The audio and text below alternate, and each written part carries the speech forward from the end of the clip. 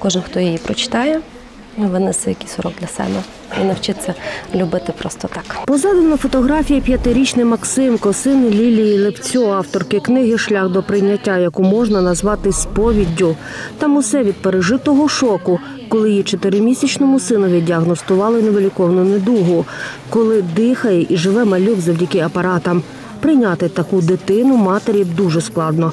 Весь зміст у фотографії, що на обкладинці. Вона говорить е, про те, що я ніколи не перестану його любити, ніколи не перестану його носити на руках, який би він важкий не був.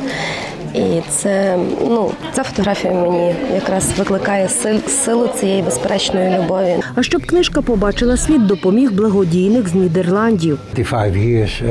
25 років тому я приїхав в Україну для підтримки проєктів в українських лікарнях. А коли познайомився з батьками особливих дітей, то пообіцяв собі, що спробую допомогти покращити їхнє життя.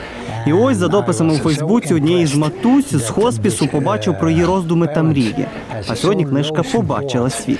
Книга вийшла лише у двох сотнях примірників. Лілія сподівається, що вона допоможе насамперед батькам особливих дітей прийняти будь-які випробування.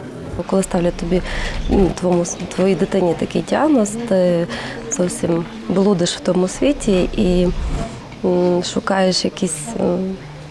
Не знаю, кроки, напевно, шукаєш ресурси для того, щоб витримати. І я вирішила написати ту книгу е, з ціллю допомогти іншим батькам. Відчуття розпачу і пошуку гармонії знайомі кожному з батьків, в родині яких росте особливо дитина, каже мати 12-річної Галинки, в якої в рік від народження виявили особливість розвитку аутизм.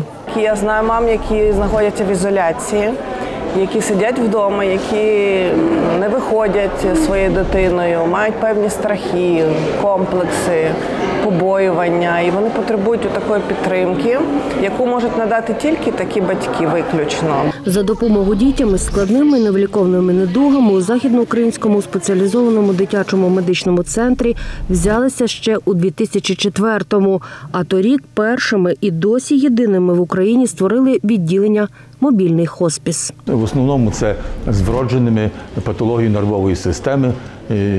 Ну, так, ну, більшість то е, спінальною м'язевою атрофією. Діти, які відмовляють м'язи і перестають дихати. Сьогодні під опікою медиків мобільного госпісу 30 дітей. З обласного бюджету цьогоріч на підтримку малюків надали мільйон гривень. Проте в більшості доводиться розраховувати на благодійників і небайдужість суспільства. Жанна Ліщенко, Юрій Руденко, Правда наживо, телеканал НТА.